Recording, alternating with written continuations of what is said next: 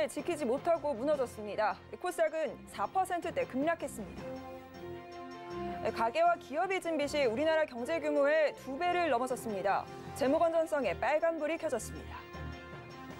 한국은행이 하반기에도 신용대출 증가세가 이어질 것으로 예상했습니다. 정부가 오늘부터 프리랜서 등 특고 지원금을 풀면서 4차 추경 집행에 나섰습니다. 생경제 라이브 지금 시작합니다.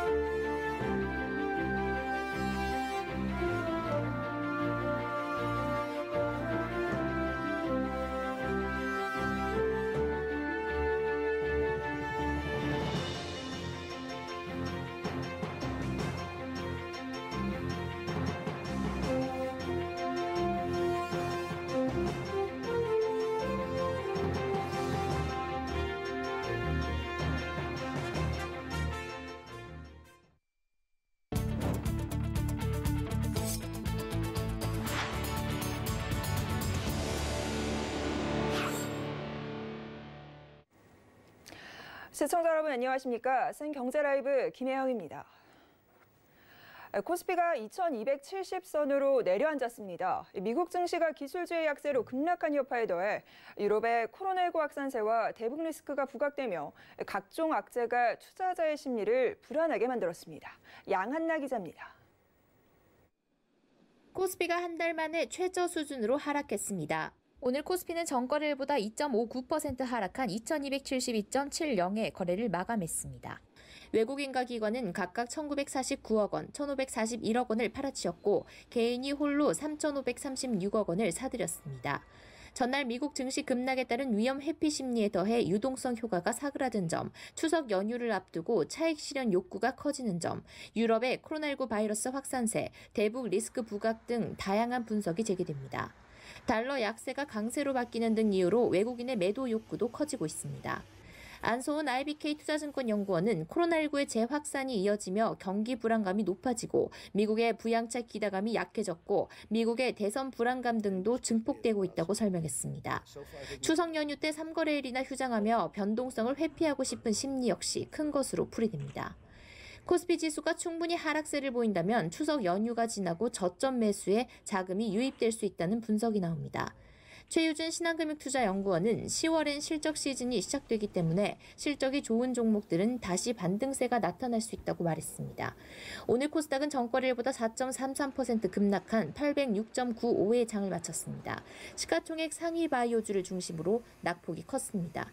서울경제TV 양한나입니다. 코로나19 여파에 국내 가계와 기업의 빚이 3,700조 원을 돌파해 사상 최대 규모를 기록했습니다. 눈덩이처럼 불어난 빚은 나라 경제 규모의 두 배를 넘어섰습니다.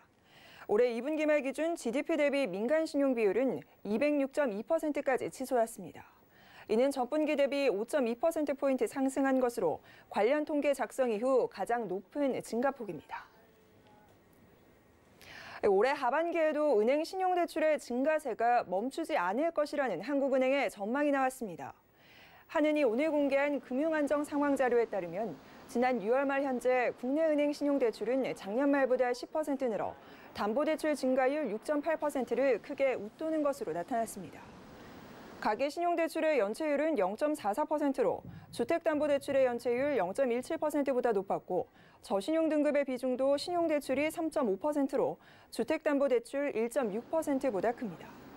한은은 하반기에도 신용대출 증가세가 이어질 것으로 예상돼 은행의 신용위험 관리 부담이 커질 수 있다며 신용대출은 부실 가능성이 담보대출보다 큰 점 등을 고려할 때 대출 건전성 저하로 이어질 수 있다고 우려했습니다. 4차 추가 경정 예산안이 담긴 각종 지원금이 오늘 2차 긴급 고용 안정 지원금을 시작으로 지급됩니다.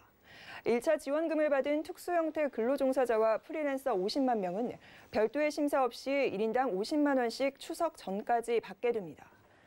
소상공인 새희망 자금은 오늘부터 신청을 받아 내일부터 지급됩니다. 청년 특별구직 지원금도 오늘부터 신청을 받고 지급 순위가 높으면 추석 전에 받을 수 있습니다.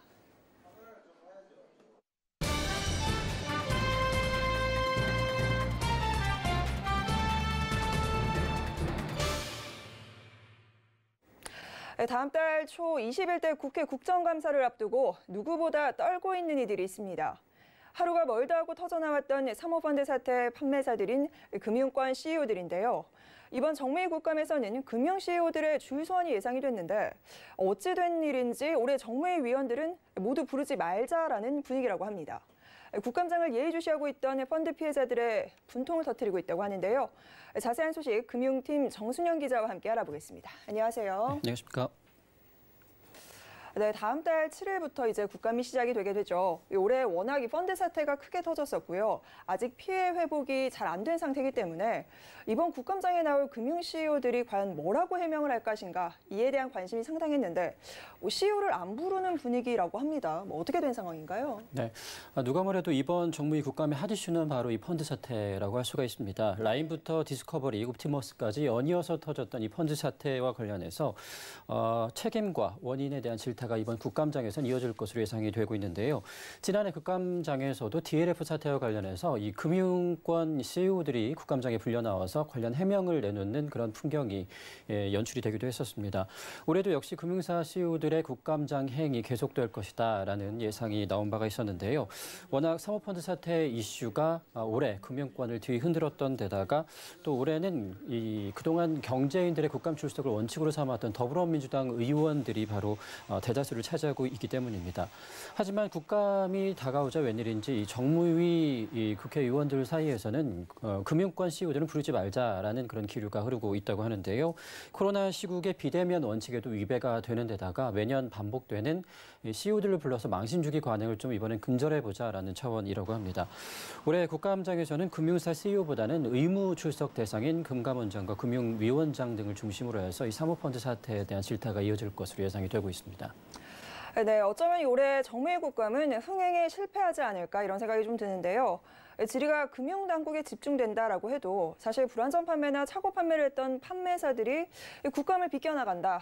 쉽게 납득이 잘 가지 않은데요. 이 부분 좀 어떻게 보고 계십니까? 네, 그렇습니다. 자칫 이번 정무위 국감은 CEO들은 빠진 채 네. 실무진들이 국감장에 나와서 관련 해명을 대신 내놓는 그림이 그려질 가능성도 있습니다. 매년 국감 시기만 되면 이 대기업 CEO들이 해외 출장을 핑계로 해서 해외로 도피성 외유를 떠나곤 했었는데 하지만 올해는 이 코로나 때문에 해외 출국 자체가 원칙적으로 어, 원천 봉쇄가 되는 상황이기 때문에 어, 국감장에서 어, 금융사 CEO들의 펀드 사태에 대한 해명과 그리고 대책들을 직접 이부를 통해서 들어볼 수 있지 않을까라는 기대감이 나온 게 사실입니다. 하지만 올해는 정무위 국회의원들이 직접 먼저 나서서 이들을 부르지 않겠다라고 나선 건데요. 정무위 의원들의 입장은 어떤지 그동안 펀드 사태에 대해서 관심을 가져왔던 의원들을 중심으로 해서 입장을 들어봤습니다. 코로나가 어, 심각한 상태에서 이제 사회적 거리두기를 시행하고 있는데 국감장에서도 이제 사회적 거리두기를 하긴 하지만 아무래도 다른 의원님들이 이제 증인 신청을 많이 하시다 보니까 어, 공간적인 문제도 있고 또 기업인 같은 분들 같은 경우는 자꾸 이제 부르면 이 코로나19로 경영적인 게 힘드신 부분도 있는데 이제 이런 부분에 있어서 조금 같이 힘을 합쳐서 뭐 국난을 극복해보자는 의미로 이제 따로 증인 신청보다는 따로따로 이제 좀 만나서 뭐 자료 요구나 아니면 정보 수집을 통해 가지고 이제 국감을 준비하시려고 정책적인 면에서 이제 준비하시다 보니까 이번에는 안 하시는 것 같습니다.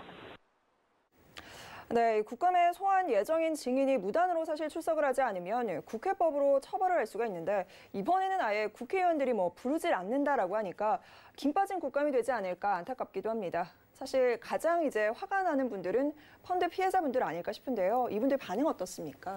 네, 이 기업은행이 판매했던 디스커버리 펀드 피해자들의 경우에는 먼저 나서서 이 장하원 디스커버리 펀드 자산운용사 대표와 또 그리고 피해자 한 명을 정무위 국감에 출석시켜 달라라고 요구를 하고 나섰습니다. 네. 이 디스커버리 펀드 대책위는 그동안 기업은행을 을 대상으로 해서 이 적극적으로 피해 회복을 위한 집회에 나선 바가 있었는데요.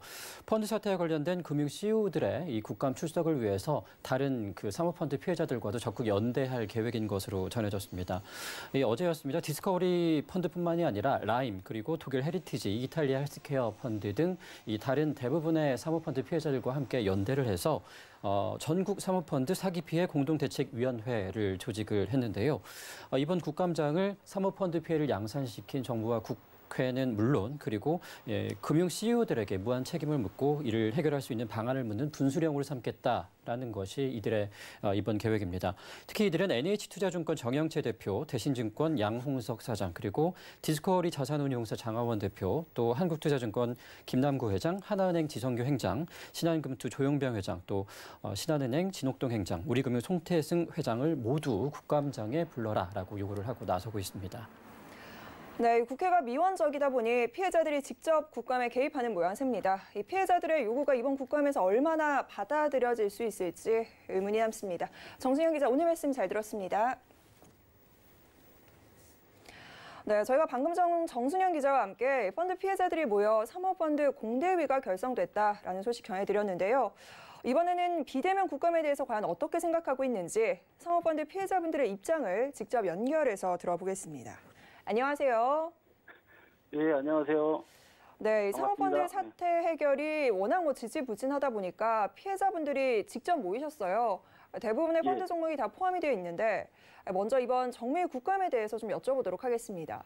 뭐 네. CEO 망신 주기를 지향하겠다. 코로나로 비대면으로 하겠다. 뭐 의원들이 이런 입장을 내놓고 있다고 하는데 공대회 측에서는 이 부분 어떻게 생각하십니까?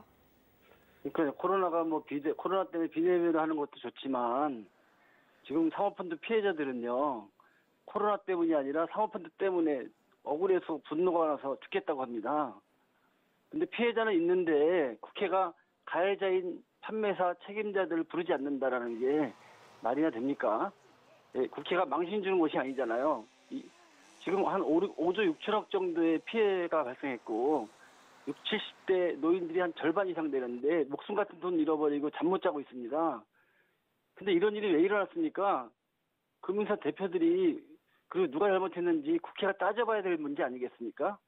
잘못한 사람들은 국민 앞에 사과하고 대책을 세워야 하는데 국회가 오히려 금융사 대표들을 보호하겠다라는 것들은 이거 말이 안 되고요.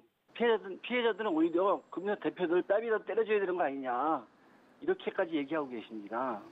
반드시 그 나와야 된다라고 생각합니다.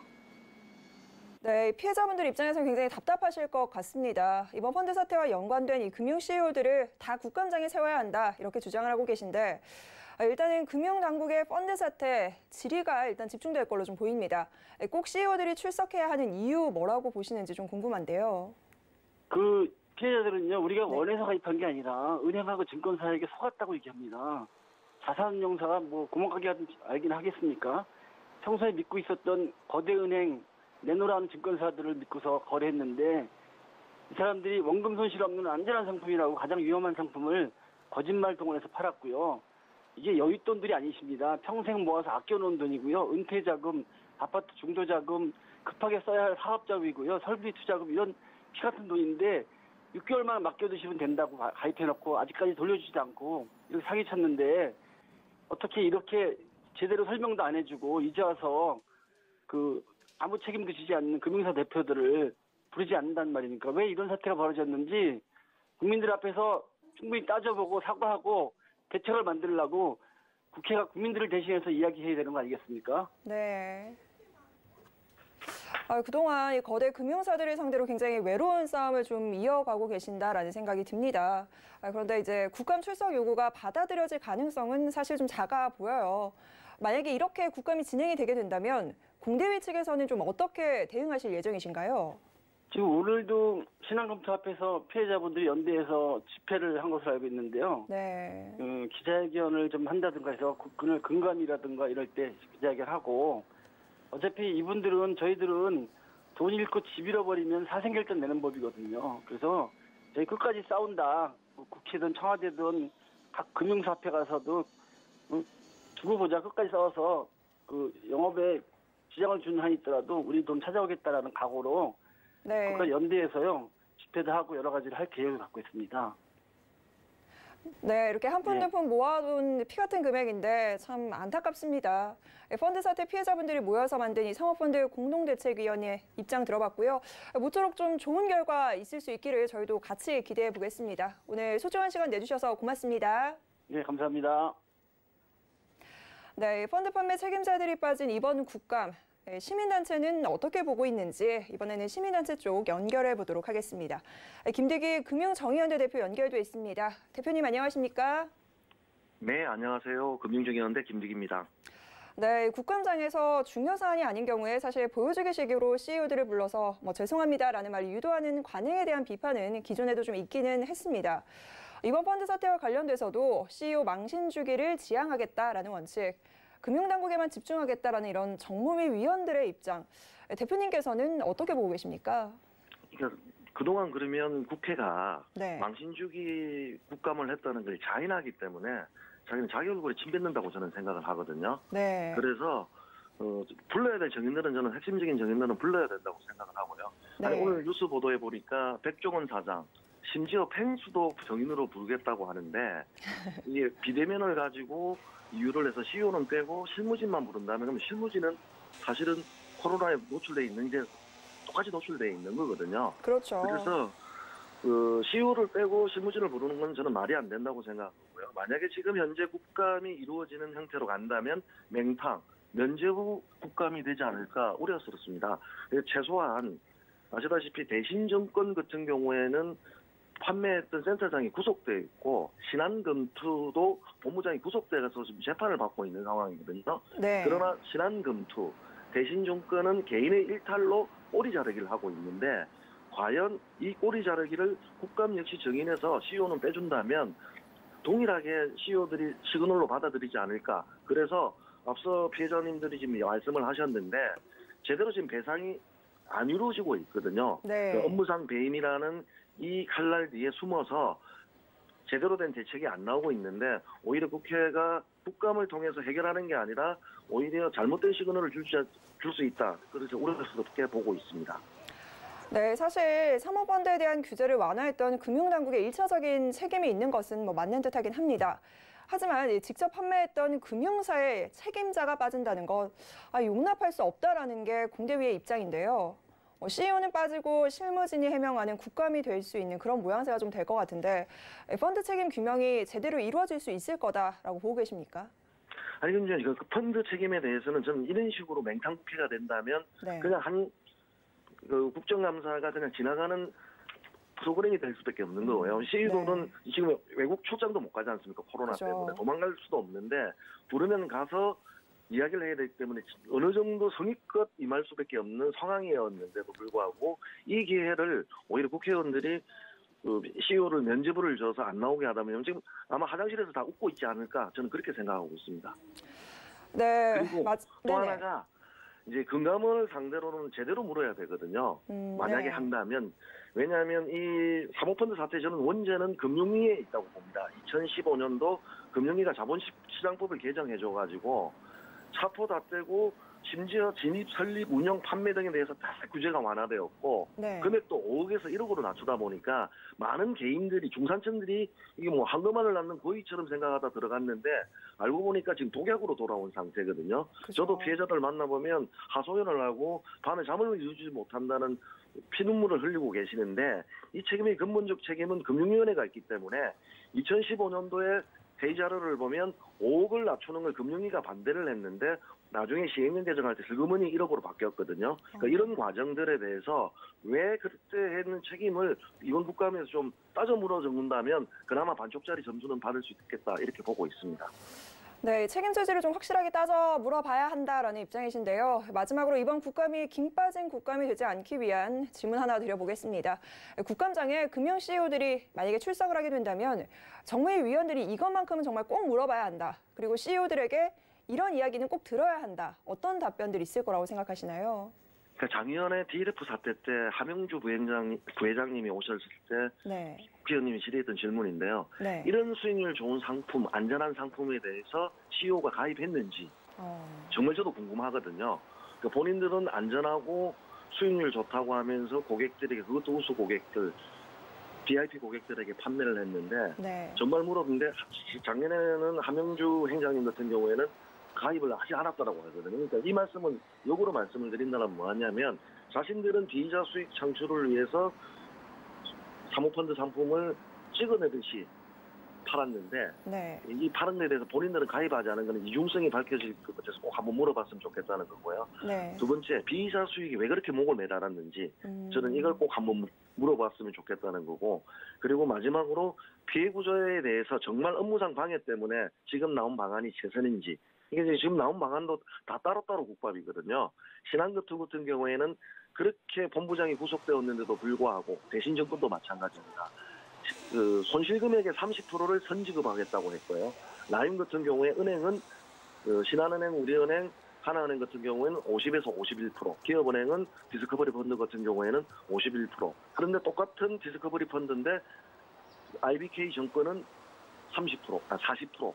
이렇게 다 들쑥날쑥 기준이 다 다르거든요. 네. 여기에 이제 숨겨진 목들은 뭐냐면 업무상 배임 때문에 못한다라는 것들이었는데 음, 저희들은 업무상 배임이 아니라고 생각하는데 이게 정말 업무상 배임인지 이런 질문을 통해서 피해 구제에 먼저 나설 수 있도록 좀 물어봤으면 좋겠다는 생각입니다. 사실 판매사들은 자기들은 자기들도 속았다는 클레임을 가지고 있거든요. 네, 맞아요. 그러다 보니까 저는 아니 복덕방도 물건을 중개할 때 이게 불량인지 아닌지 등기가 있는지 아닌지 물이 새는지 아닌지 가서 보고 그 책임들이 과실을 따지고 있는데 네. 판매사 CEO들은 자신들은 아무 책임 없고 특히 자신들은 또 보고받은 바 없다라고 전적 그 불가문 검사에서도 꼬리 자르기를 하고 있거든요. 정말 책임이 없는지 이런 걸 꼭 물어봤으면 좋겠습니다. 네, 이 피해자분들이 얼마나 하루하루 답답한 그런 심정을 갖고 계실까 정말 안타깝습니다. 김대기 대표님 연결해서 오늘 정무위 국감에 관해서 펀드 사태 방향과 함께 자세한 이야기 좀 나눠봤습니다. 오늘 시간 내주셔서 고맙습니다. 예, 감사합니다.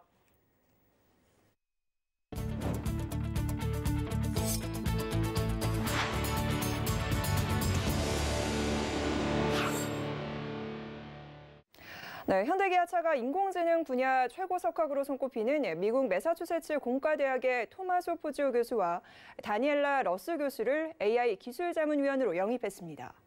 작년 하반기 영입한 토마소 포지오 교수는 신경망 연구와 AI 응용 분야의 세계 최고 석학으로 현재 MIT 공대 뇌인지과학과 교수로 재직 중입니다.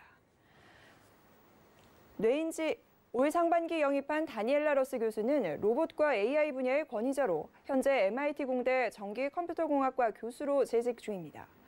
이는 미래차 개발 경쟁에 대응하고 지속 가능한 성장을 위한 AI 기술 개발에 전문성을 한층 강화하기 위한 차원으로 현대기아차는 이들로부터 AI를 활용한 차량 품질 향상과 로보틱스, 스마트 모빌리티 솔루션 등 다양한 신규 사업 전략에 대한 자문을 받고 있습니다. 아시아나항공이 해외여행을 그리워하는 여행자들을 위해 국내 상공을 비행하는 여행 상품을 내놨습니다. A380 항공기를 활용해 국내 상공을 약 2시간가량 비행하는 이번 상품은 다음 달 24일과 25일 운행, 운행됩니다. 해당 항공편은 인천국제공항을 이륙해 포항과 제주 등의 상공을 비행한 후 돌아옵니다. 가격은 비즈니스 스위트석이 30만 5천 원, 이코노미 20만 5천 원 등입니다. 미래학자 제롬 글렌이 코로나 시대를 맞아 기업이나 단체 구성원에 대한 교육의 중요성을 강조했습니다. 디지털 신기술을 접목한 교육을 통해 집단 지성이 발휘될 수 있도록 해야 한다는 건데요. 문다혜 기자입니다. 미래학자 제롬 글렌이 코로나 시대를 맞아 변화된 차세대 교육의 중요성을 강조했습니다. 제롬 글렌은 어제 온라인 라이브 방식으로 열린 휴넷 2021 HRD 리더스 포럼에서 기조 강연을 통해 이같이 밝혔습니다. 포스트 코로나 시대의 HRD를 주제로 진행된 이번 포럼에는 제롬 글렌의 기조 강연을 비롯해 휴넷의 차세대 교육 솔루션이 소개됐으며 기업 교육 관계자들의 대담이 진행됐습니다.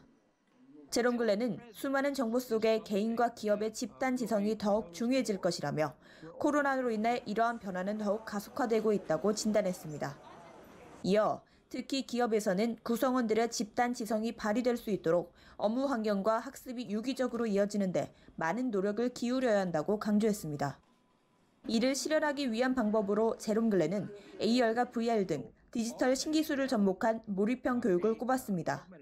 제롬 글렌이 교육의 디지털화를 강조한 것은 코로나19로 교육 환경이 바뀌고 있기 때문입니다. 코로나19로 최근 정부가 비대면 교육을 활성화하고 있는 가운데 최근 교육업계에서도 라이브 강의와 비대면 교육 컨설팅에 대한 요청이 늘어나는 등 전에 없던 변화가 일고 있습니다. 학생뿐만 아니라 재택근무로 자기 개발 시간이 늘어난 직장인들도 온라인 강의를 찾으며 비대면 교육이 사회 전반으로 확산하고 있는 상황. 실제로 코로나 사태가 본격화된 올 들어 이러닝 수요는 크게 늘었습니다. 휴넷의 지난달 온라인 학습자는 역대 최대인 65만 명으로 전년 동기와 비교해 2배가량 증가했고 상반기 온라인 누적 학습자는 260만 명을 돌파했습니다. 코로나가 오기 전부터 에듀테크는 이미 상당히 많이 발전을 하고 있었는데 아, 그런 것들이 적용이 잘 안 되고 있었던 거거든요. 코로나로 인해서 어, 과거 방식이 계속되던 관행이 깨지고 훨씬 더 효과적인 다양한 형태의 에듀테크, 디지털 transformation이 가속화될 거다. 서울경제TV 문다혜입니다. 네, SEN 경제 라이브 저희가 준비한 소식 여기까지입니다. 함께해 주신 여러분 고맙습니다.